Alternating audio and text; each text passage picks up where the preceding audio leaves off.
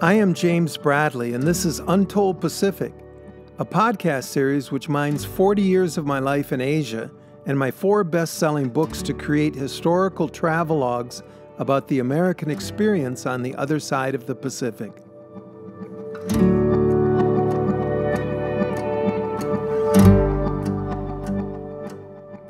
When America's founding fathers signed the Declaration of Independence in 1776, None of them had ever heard of Hawaii.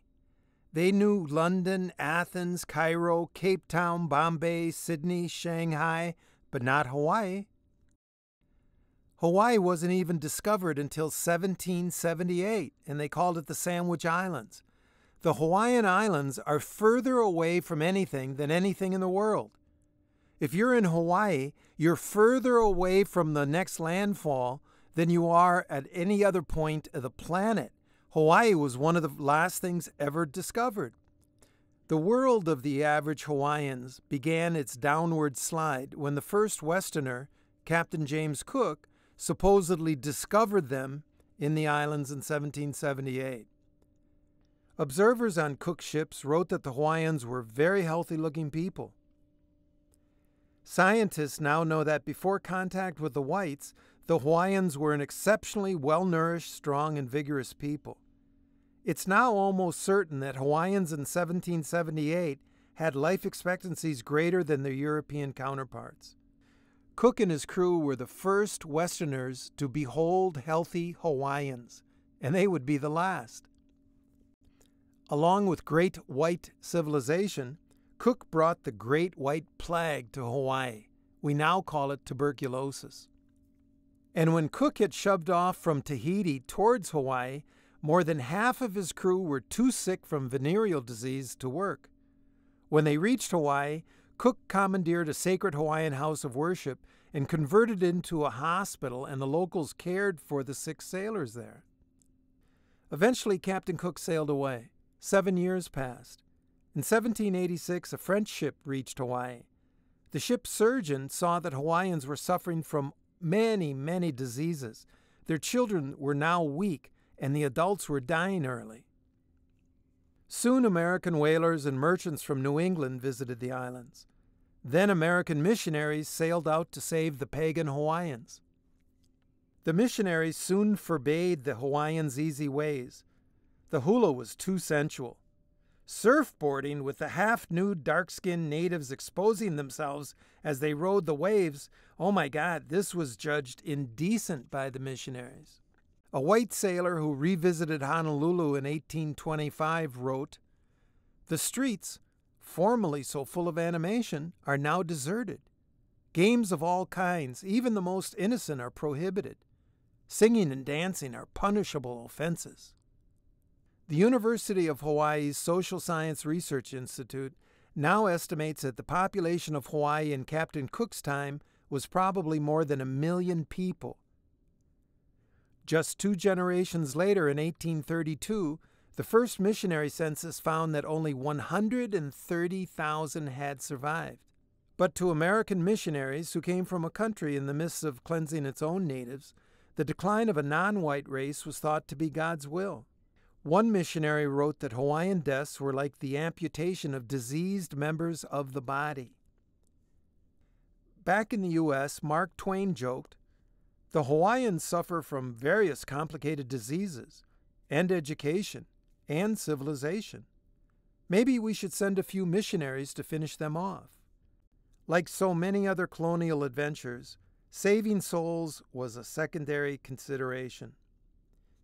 Imperialism's great success story was the production of sugar from tropical sugarcane fields.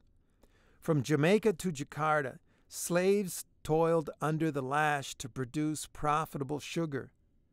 American settlers noticed Hawaii's fertile soil, constant sunshine, plentiful rain, and easy access to good ports, and saw before them a sugar producer's dream. In Hawaii, there's a well known saying that the missionaries came to do good and stayed to do well. One who did just that was Reverend Amos Cooke, who was born in Danbury, Connecticut, and educated at Yale. Reverend Cooke had sailed to Hawaii in 1837. In Hawaii, he ran the Royal School to educate the future kings and queens of Hawaii. Reverend Cooke's first step was getting title to valuable Hawaiian land. Buying land was complicated. The Hawaiians had little notion of private property or cash exchange. They didn't understand how a transaction could deprive them of land. Reverend Cooke helped convince King Kamehameha III to institute a revolutionary land reform. Suddenly, whoever had money could buy as much land as he wanted. Soon the terms missionary and planter became synonymous. Back in Washington, D.C. in 1848, the U.S. House of Representatives Committee on Naval Affairs held hearings. The subject? How America Might Span the Pacific. The government was already subsidizing four steamship lines in the Atlantic and the Caribbean. A Yankee line across the Pacific would be a significant boon to American commerce. But while steamships could conquer the Atlantic, the Pacific was far too wide. The Pacific Ocean is the largest physical feature on the planet. If you take all the world's land masses and place them into the Pacific, there's still room left for an additional Africa, Canada, United States, and Mexico.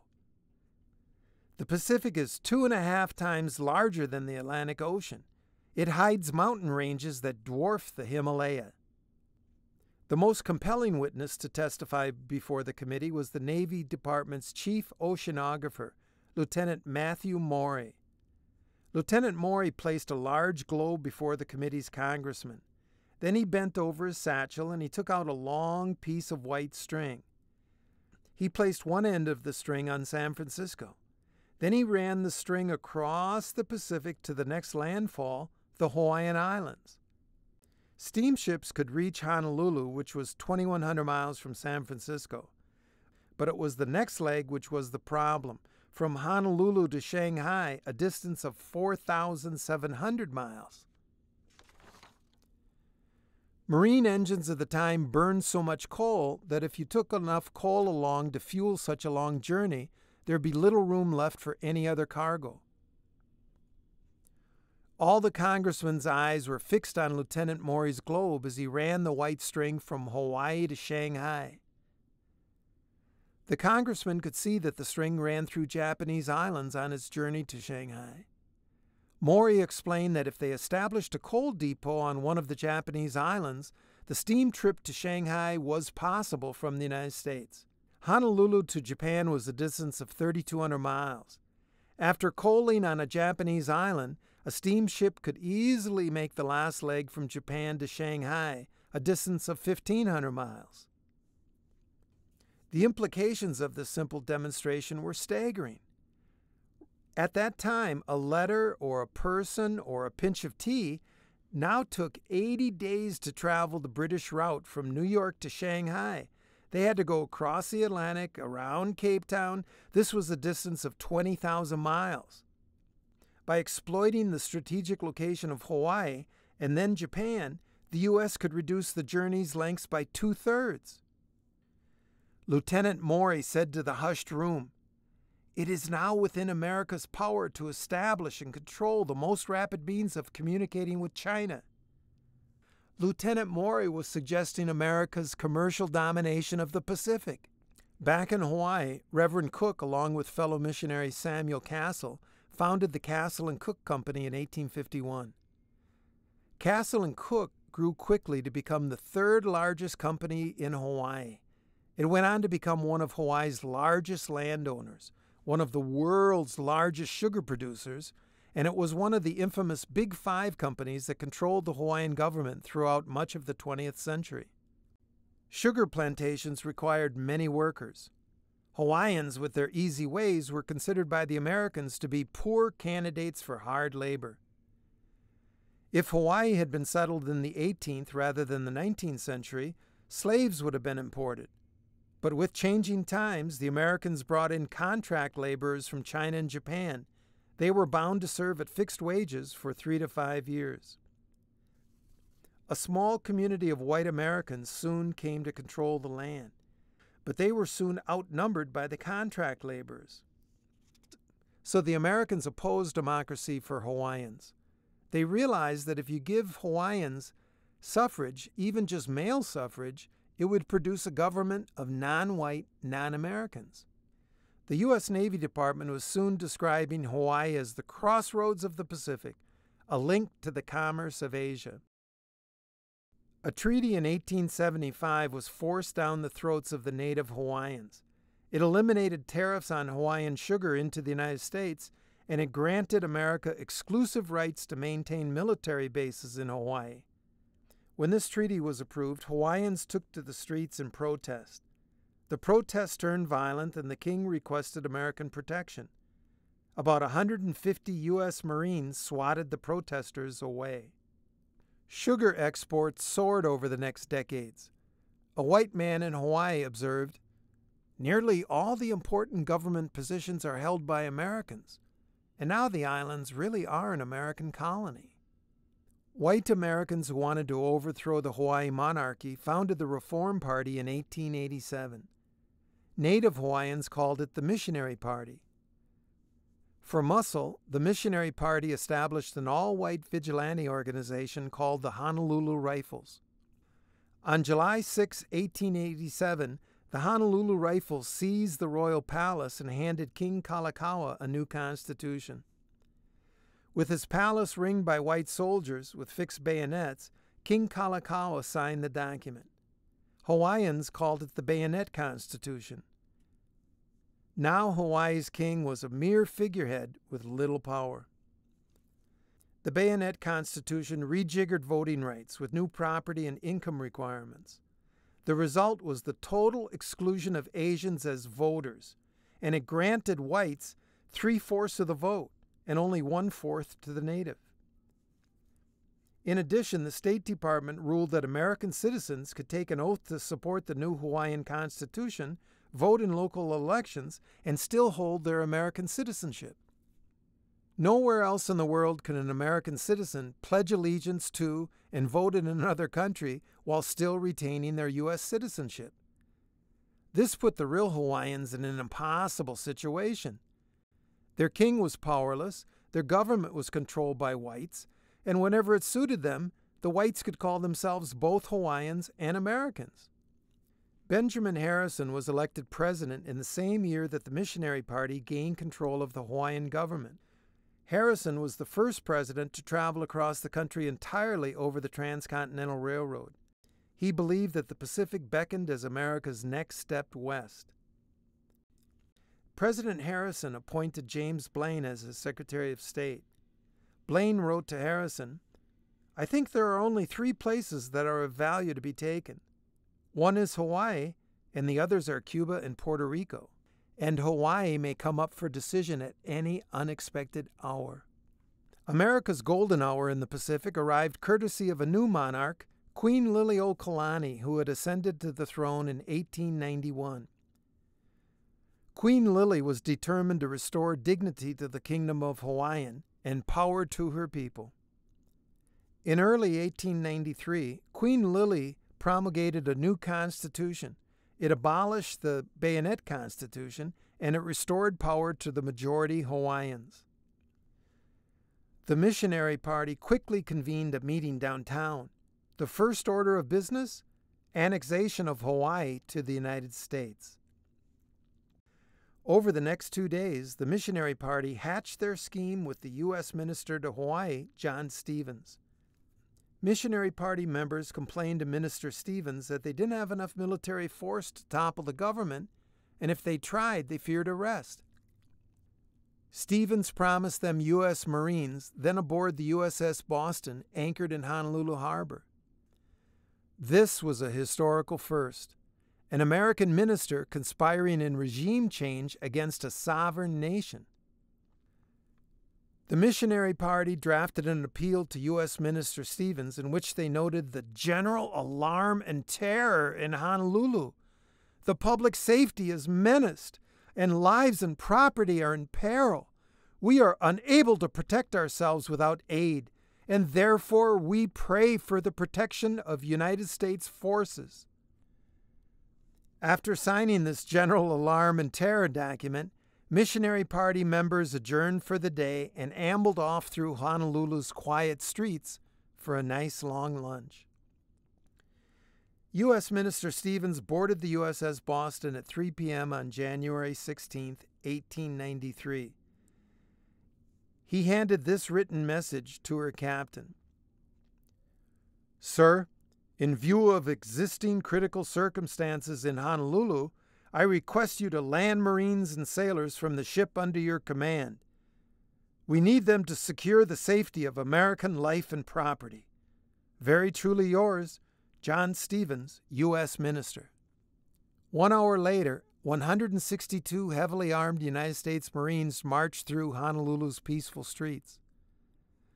The only large group of Hawaiians to be found downtown were those enjoying the weekly Monday night Royal Hawaiian Band concert under the gazebo of the Hawaiian Hotel. The Marines made no effort to pretend that they had landed to secure the safety of Americans. Instead, they surrounded the royal palace and forced out Queen Liliuokalani. The next day, representing the United States, U.S. Minister Stevens recognized the all white Hawaiian Provisional Government. The new president of Hawaii was Sanford Dole, a son of missionaries, a white and blue eyed American who founded the Dole Pineapple Company. At long last, there were no dark skinned Hawaiians in the new Hawaiian government. U.S. Minister Stevens raised the American flag in Honolulu and declared Hawaii an American protectorate. Then, in a letter to the Secretary of State, Minister Stevens wrote, The Hawaiian pear is now fully ripe and this is the golden hour for the United States to pluck it. But the missionary party and its provisional government had a problem back in Washington. There was a new president, Grover Cleveland, who refused to recognize Minister Stevens' regime change because it was set up without the assent of the people. Theodore Roosevelt was outraged. Indeed, it was this failure that sparked Roosevelt's interest in Pacific expansion.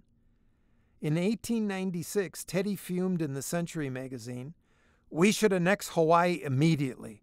It was a crime against the United States. It was a crime against white civilization not to annex it two and a half years ago. Fortunately for Teddy, a new president, William McKinley, had run on the platform that the Hawaiian Islands should be controlled by the United States. President McKinley submitted the Hawaiian Annexation Treaty to the U.S. Senate. The president said, Annexation is not a change, it is a consummation. Senator David Turpie objected. He believed that the native Hawaiians should be heard. He argued, There is a native population in the islands of about 40,000. They are not illiterate, they are not ignorant. A very large majority can read and write both languages, English and Hawaiian. Any treaty made without consulting the native Hawaiians should be withdrawn. But his was a minority viewpoint. Native Hawaiians were not to be heard in Washington, D.C. A more persuasive voice was that of the new Assistant Secretary of the Navy, Theodore Roosevelt. Teddy wrote that if the United States did not annex Hawaii, it will show that we have lost the masterful instinct which alone can make a race great. I feel so deeply about it that I can hardly dare express myself in full. Export minded U.S. businessmen had long imagined 400 million customers in China. Hawaii would be the American coaling station and naval base to get to those Chinese customers. In January of 1898, President McKinley declared that using the U.S. military to pry open foreign markets was a legitimate function of the U.S. government. Senator Cushman Davis proclaimed the nation which controls Hawaii will control the great gateway of commerce to China. The United States was hardly the first to seek colonies abroad. By the end of the 19th century, Britain had 50 colonies, France 33, Germany 13. More than 98% of Polynesia was colonized, 90% of Africa, and more than 56% of Asia. Across this broad swath of the planet, only seven countries were still fully independent nations. Senator Henry Cabot Lodge expressed America's empire envy. The great nations of the world are rapidly absorbing all the waste spaces of the earth. It is a movement which makes for civilization and the advancement of the race. As one of the great nations of the world, the United States must not fall out of the line of march. The U.S. Army had brought America to the Pacific coast. It now passed the baton to the U.S. Navy. Captain Alfred Thayer Mahan, president of the newly founded Naval War College, lectured about the need for U.S. expansion. The U.S. Navy's traditional approach had been defensive. Mahan changed it to offensive. He said the U.S. Navy should seize strategic ports worldwide. He called these links in the chain of exchange by which wealth accumulates. The U.S. Navy, Captain Mahan said, could be great like the British if we concentrated our naval power at these links or pressure points around the world. By striking quickly and sharply at these nerve centers, the United States could paralyze whole oceans. To bring Asian booty back to the United States, Captain Mahan said the U.S. Navy must establish links in the Pacific, then cut a canal through Central America, and make the Caribbean into an American lake. By the 1890s, a new generation of rebels around the world had arisen they wanted to reclaim their homelands from the white Christian colonial powers. Spain was battling insurrections in both Cuba and the Philippines, and the Spanish Empire was weak. On February 15, 1898, when the USS Maine exploded in Havana Harbor, the Spanish islands of Puerto Rico, Guam, and the Philippines were suddenly in play. With Hawaii thrown in, the U.S. Navy could now grab the links necessary to obtain the riches of Asia. With Assistant Secretary Roosevelt beating the tom toms in Washington, Admiral George Dewey in Hong Kong made plans to seize Manila. The May 1 Battle of Manila Bay was actually not much of a fight. On May 1st, Admiral Dewey's modern steel ships steamed into Manila Bay. Spain's creaky wooden ships were conveniently tied up in a row. It was a turkey shoot. The American cannon pounded Spain's wooden relics into kindling. The conflict was so one sided that Dewey had his sailors break for a sit down morning meal. After the breakfast dishes had been washed and dried, the U.S. Navy resumed its attack. After seizing the Spanish possessions of the Philippines and Guam, American eyes turned towards the island of Hawaii. One congressman declared, The annexation of the Hawaiian Islands is now presented to us as a war necessity. One historian wrote, Potential trade with China was the primary reason for the annexation of Hawaii. War with Spain was about the timing. On July 6, 1898, Congress passed the Hawaiian Annexation Resolution. President McKinley signed it the next day. The New York Sun newspaper cheered. The America of the 20th century has taken its first step towards the high rewards of manifest destiny. On August 12, 1898, in the Hawaiian annexation ceremony in Honolulu, President Sanford Dole formally handed over the former independent kingdom to the U.S. minister. America's first regime change was complete. White Americans applauded. Queen Liliuokalani did not attend. America now had what Theodore Roosevelt and the naval expansionists had desired a naval sluice to China from the east coast of America, through the Caribbean, across the Panama Canal, out to Hawaii, Guam, and the Philippines. As Assistant Secretary of the Navy, Theodore Roosevelt had been instrumental in seizing the naval links in the Caribbean and the Pacific to China. Then, as president, Roosevelt seized Panama and carved out the connection between the two seas. As Teddy later admitted, I took the canal zone and let Congress debate. About the same thing can be said about the seizure of Hawaii. Every year on the anniversary of the American annexation, Queen Liliuokalani would gather with her friends, and they would sing Hawaiian songs and cry. The story of America's first regime change, which I have just told you, comes from my third book, The Imperial Cruise. I wrote that book in my apartment in Honolulu's Foster Tower. It overlooks Waikiki Beach. Every morning about 5 a.m., I would get up, I would go outside, get a cup of coffee, return to my writing desk, and then I would write from about 6 a.m. to noon. I had a perfect view of Waikiki Bay, and right in front of me, straight out into Waikiki Bay, was a set of waves that the surfers loved called Queen's Break. And I would watch the surfers on Queen's Break all morning, couldn't wait to get there. I'd finish my writing, have lunch, and then go out and surf Queen's Break all afternoon. Only later did I learn that Queen's Break was named after Queen Liliuokalani. I had been living and writing a book about this woman on the property where she had lived, where she had cried about America's first regime change.